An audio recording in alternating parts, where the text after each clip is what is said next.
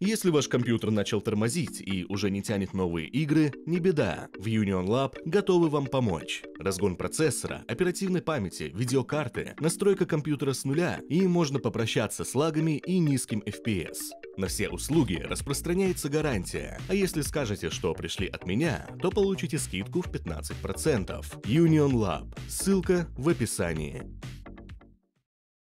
Думаю, не будет преувеличением, если я скажу, что бэкдоры – одна из тех вещей, которые больше всего повлияли на сервер. С их помощью игроки могли обходить систему античита и творить невозможные на первый взгляд вещи. В истории 2B2T можно выделить три основных бэкдора, каждый из которых сыграл большую роль в изменении сервера. От доступа к режиму креатива до размещения табличек за границей мира и возможности найти кого угодно и где угодно. Это рассказ об бэкдорах сервера 2B2T и о том, как они меняли историю. Все началось где-то в январе 2012 года. Для сервера был написан плагин, решающий проблему с застреванием игроков на крыше Незера. Проблемой это было потому, что если кто-то попадал на бедроковую крышу, то он уже не мог оттуда выбраться. Владельцу Тубитути, хаос-мастеру, неоднократно приходилось помогать таким застрявшим игрокам, и в какой-то момент это ему надоело. Плагин, который должен был помочь хаосу, предоставил игрок под ником PopBob. Теперь для того, чтобы выбраться с крыши, вам достаточно было прописать команду slash stack. Это телепортировало бы вас вниз, к ближайшему свободному пространству. Для обычных игроков это оказалось просто хорошим способом не застревать на крыше, что в целом так и было. Вот только в коде этого плагина скрывалось кое-что поинтереснее – без ведома хаусмастера плагин предоставлял доступ командам администратора для всех, кому это разрешил PopBob. В коде можно заметить шифр, известный как ROT13. Этот шифр работает путем замены буквы на 13 после нее в алфавитном порядке. Для примера давайте рассмотрим 23-ю строчку кода плагина. Это можно перевести как «эти имена добавить CBC-OBO». После расшифровки CBCOBO шифром Road 13 получается эти имена добавить PopBob.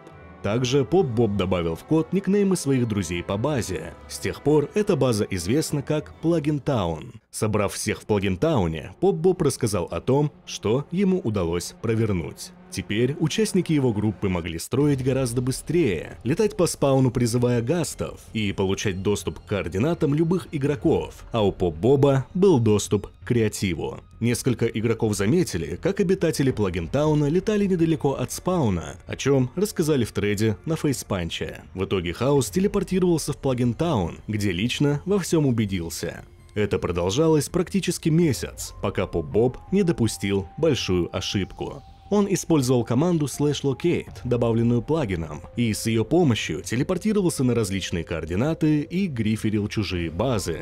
Тогда Хаусмастер вместе с парой игроков построили для Поп-Боба приманку. Когда Поп-Боб телепортировался туда, Хаусмастер смог понять, каким именно образом он это делает, и удалил плагин. Не совсем понятно, почему он не сделал этого раньше, или почему хотя бы не проверил код плагина. Хаусмастер никогда напрямую так и не признался в произошедшем, но намекнул, что урок усвоен и что впредь он не будет слепо доверять игрокам.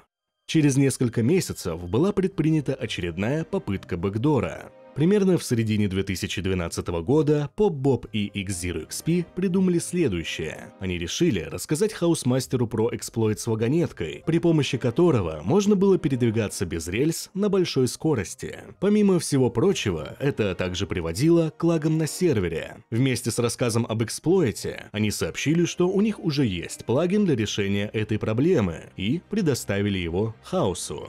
И так же, как несколько месяцев назад, в плагин был вшит бэкдор. Чтобы все выглядело менее подозрительно, они добавили возможность автоматического обновления. Теперь плагин можно было загрузить на сайт Bucket. Это место, где владельцы серверов обычно эти плагины и берут. В итоге Хаусмастер все же решил скачать плагин, но попросил одного из своих модераторов удалить из него возможность автообновления. Позже этот модератор запустил исходную версию плагина уже на своем сервере и обнаружил, что PopBob и X0XP на самом деле вновь хотели получить доступ к бэкдору, что официально положило конец этой попытке.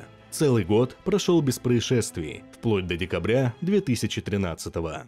В создании второго бэкдора участвовали игроки iTristan и Pyrobyte, одни из разработчиков плагина, блокирующего доступ на бедроковую крышу. Чтобы все сработало, их новый плагин должен был решать какую-то проблему на сервере. И по официальной версии он исправлял баг с переименованием предметов на наковальне, но на самом деле смысл был в том, что теперь, при добавлении к названию предмета slash 0xa7, его количество становилось отрицательным, что по сути делало этот предмет бесконечным. Также у них была возможность обойти запрет на посещение крыши Незера при помощи ездовых животных. Со временем их плагин становился все более сложным и теперь включал в себя функцию автообновления. Она позволяла добавлять новые функции без ведома хаусмастера. Таким образом, в скором времени у них уже был доступ ко всем предметам, телепортации, изменению режима игры и многому другому. Именно таким образом была создана та самая табличка на границе мира, а также появилось 32к оружия. В конце концов, Хаус потребовал отключить автообновление. Они пытались спрятать этот модуль в сторонней библиотеке, но что-то пошло не так, и автоматические обновления продолжились. Это вызвало подозрение у хаусмастера, что в итоге заставило его полностью удалить плагин. Но iTristan на этом не прекратил свои попытки взломать сервер, что привело к одному из самых известных событий в истории сервера.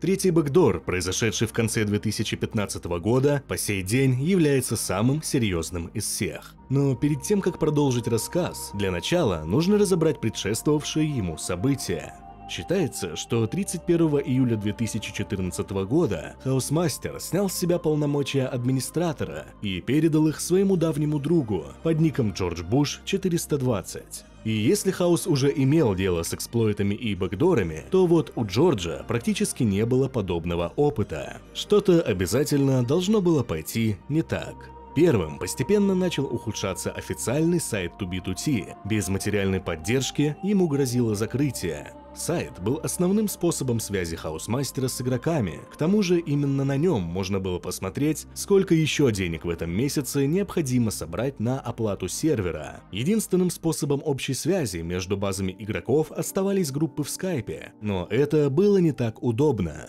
Поэтому большинство игроков просили Джорджа вернуть сайт. И тогда Джордж сказал, что для оплаты сайта нужно еще 250 долларов. Никто не ожидал, что деньги будут собраны, так как их едва ли хватало на оплату самого сервера. Но менее чем через полгода сайт все же был оплачен. Большую часть внесли XCC2 и Император Террой. Игроки были в восторге, но даже после достижения цели сбора сайт так и не был запущен. Предполагается, что эти деньги были потрачены на сам сервер, так как на тот момент он находился на грани закрытия.